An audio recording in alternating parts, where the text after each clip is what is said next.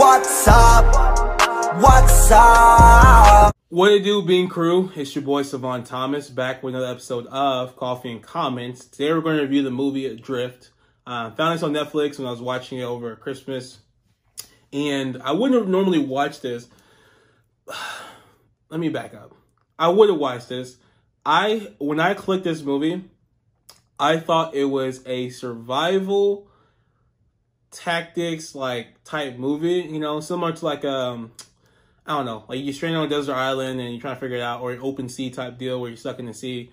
Um, and it wasn't that. So it stars Shailene Woodley, which I didn't even know who she. I, I knew I knew who she was. I just didn't recognize her. Like I, I knew the name, I knew the face. I knew the name because she, she's married to Aaron Rodgers or her fiance or whatever their relationship is. Um, so I knew who she was. Um, and I knew her face because I seen her in the, in the Divergent series, A Fault in Our Stars, obviously. So I knew the name, I knew who she was. I just didn't put the two together. And so when I saw this movie, I was like, oh, starring Shailene Woodley. And I saw her face. I was like, oh, that's Shailene Woodley. Like I even tweeted that out. I was like, I finally know who Shailene Woodley is. Um, and and so I watched this movie because I'm like, okay, Adrift. It looked like you know there's a there's a big disaster. She's gonna be stuck at sea. Yes, she has to like figure out life um, at sea, and that's not what I got. that's not what I got. It is definitely a slow burn, but the ending is really good. It shows the buildup of a love story with the survival story of them surviving for 41 days on the boat, and those are kind of intertwined. I would have preferred that they show the love in the beginning, maybe spend 15, 20 minutes talking about relationship, them getting on the boat, then then leading to the big storm, and that taking, I don't know, maybe, I mean, this movie was an hour and 30 minutes, so that taking 30 minutes of it, and then the survival story past that. But then when watching it, I realized that they didn't really have much for the survival story other than her uh, having to, you know, figure out drinking water. Because she was, I mean, there was no island. She didn't find an island.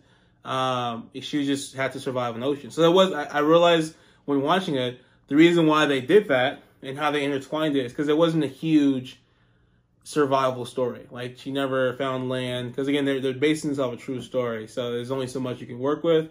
So they have to intertwine a love story with that. So first I was a little pissed and I was tweeting about it. Um, but the ending is really good because it showcases the storm, how they navigate that, which I was like, man, I should put the storm in the beginning, like 30 minute mark, because then I would have been super more intrigued. I literally was just sitting there tweeting, watching this movie. Um, and and then there's a twist at the end that I did not expect. And for me, that's rare because I think about everything. I am always trying to figure out what is going on in a movie.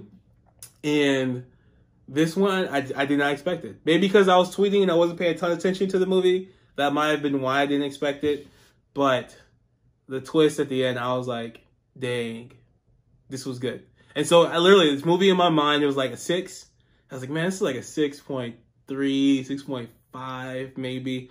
And then the ending with Storm and then the end, 100% made up for it. And I like, if you, if you look at my, if you look at my um, tweets, I literally tweeted, wow.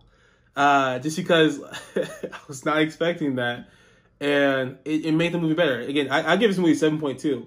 Uh, even though it was slow, slow for a long time, it was a great, great finish. And so watch it if you want to. Again, this is on Netflix. I watched a lot of Netflix movies recently because it's the easiest thing. I have it. Um, but it's on Netflix. Check it out. Thanks for tuning in. Coffee and comments.